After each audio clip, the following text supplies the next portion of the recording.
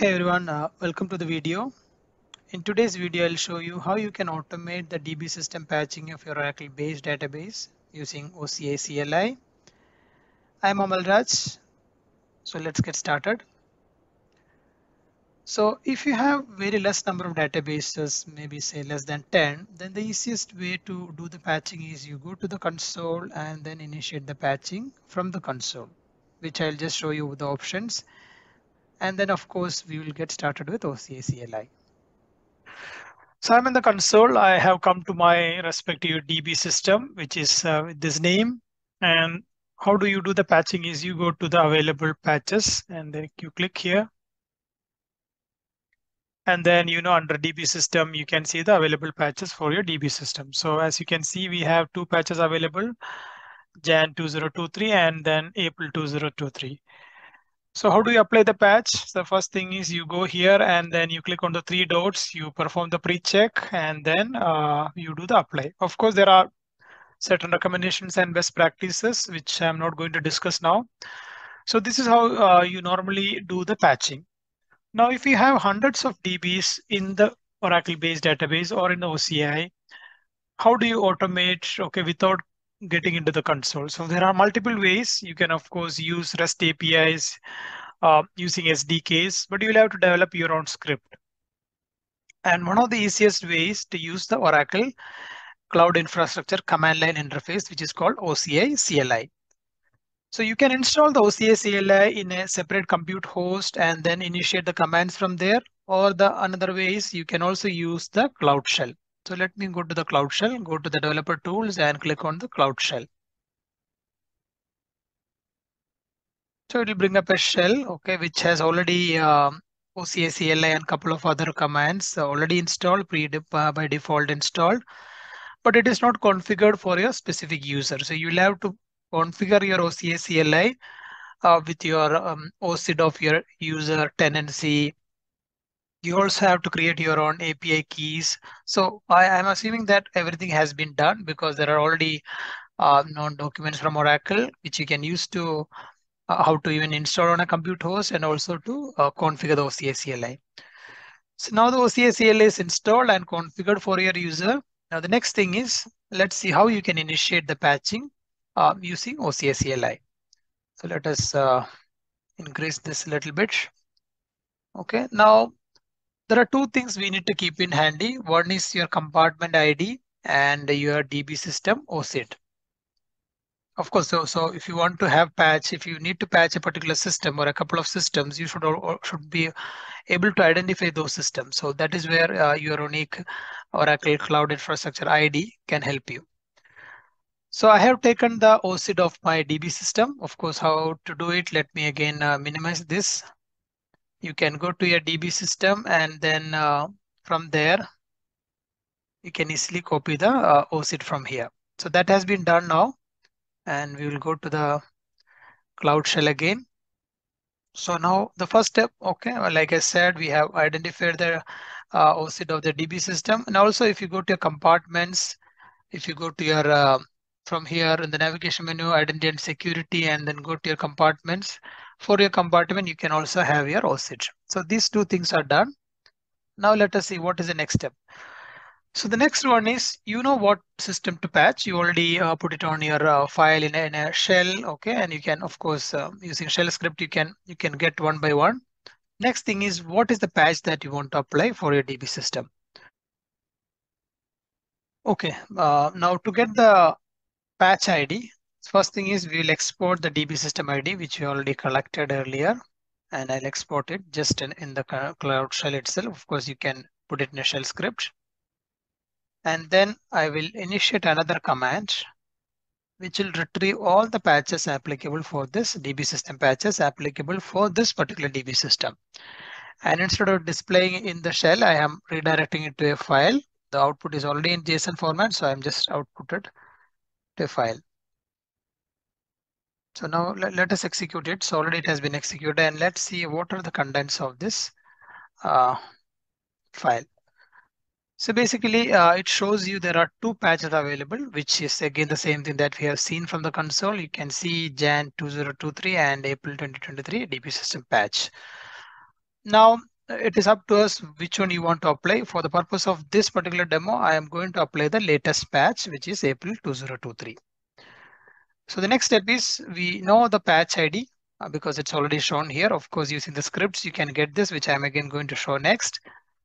So we need to get this patch ID and then you input to a different command so that it can start with the uh, pre-check.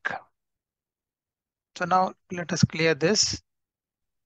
And next thing is we want to do the pre-check. So for that, again, uh, we will do the export the DB system ID. It's already done. Okay, just for the purpose of this one, I am again doing it. And then patch ID, I will extract it from the file that we just had. So I will extract it like this. And then next, the patch action. What is the action that you want to do? Whether you want to perform a pre-check or an apply. So for this, for the first, we will do a pre-check. Okay, so once we have these three things ready, we are ready to execute the OCI command for doing the pre-check. So basically you initiate the know, DB system patch and then give particular three, uh, what you say, couple of parameters. Let me go back. You give the DB system ID and what is the patch action, which you are going to do pre-check and then the patch ID, which we already got it from that JSON file. So now the patch uh, pre-check has been initiated. Let us go and see what has been seen. Now we can see the already in the console, the pre-check has been initiated. So of course, the idea is not to come back and console, but I just want to show you in the console what is happening. So one good thing with the OCI CLI is whatever you do with OCI CLI, it is actually in sync with the you know, console. Now you can see the patch DB system, the pre-check is in progress.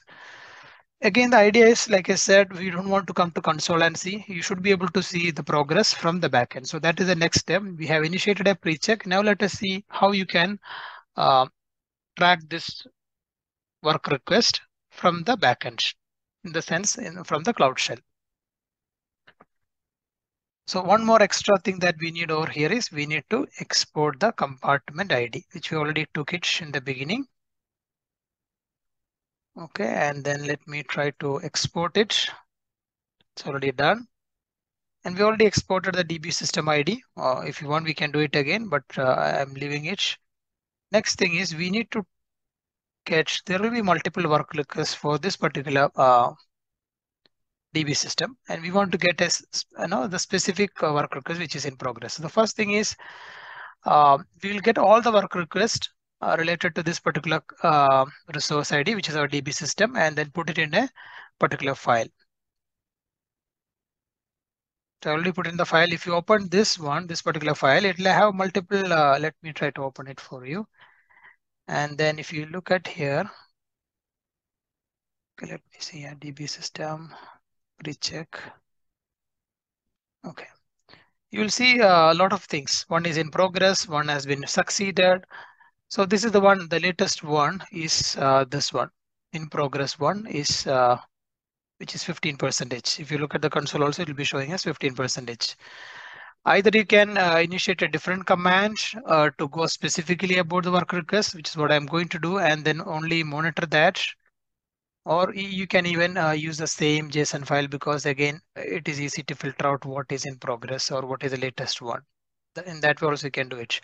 So with this command, I am trying to get the latest uh, one, which is in progress. And then of course, you can initiate another command just to see only what you want to see for the particular work request. So now with this, you can see uh, the exact work request that we had initiated before, which is in, in progress. So this is how you can monitor, you can you can initiate it, the pre-check, you can even monitor it. So the next step is uh, let this pre-check complete. Then we are going to come back and initiate the actual patching. And then of course you can monitor in the same way that we have done for uh, pre-check. So let's wait for a couple of uh, minutes and then come back and then we'll uh, resume from there.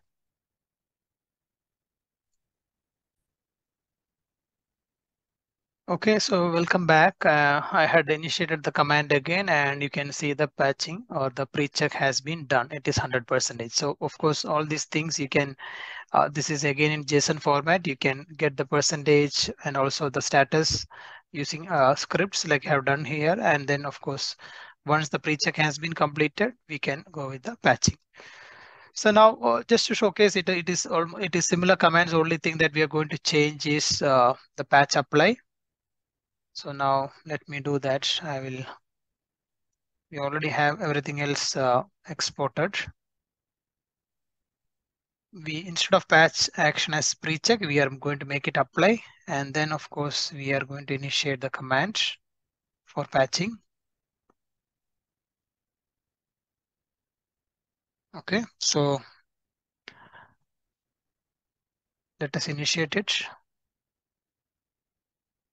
Okay, it has initiated. Now, uh, just to show you from the console, let us go to the console. And then of course, this will be initiated in, in few seconds. I think it is set to update here. Yeah, it has updated. Now, if you go to the work request, it this will also update here. As you can see, it has started patching.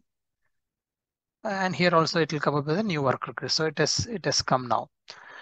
So now the patching is in progress. So this is not the pre-check, the actual patch, which is again going to take some time. So we will not wait for that because we have seen it uh, how to initiate it. And again, using the same commands that we have seen earlier, we can check the uh, status of the patch, yeah, like the same way that we have done for the uh, pre-check. So that is uh, real fast and quick how you can initiate uh, your patching uh, using OCI CLI. I hope it was useful. I'll again catch you up with a Uh, next interesting video. Thank you.